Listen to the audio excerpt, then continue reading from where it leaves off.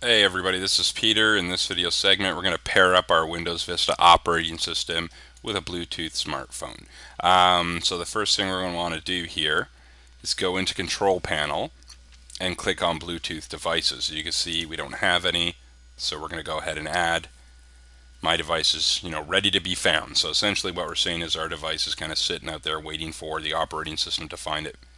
So you can see, we see our new device, Jason, new device. We'll click on Next all right.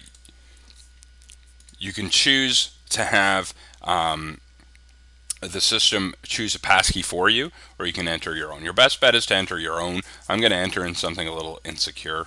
You know, obviously choose one that's more secure, uh, but you can enter in, you know, one one one one one one. Doesn't really matter.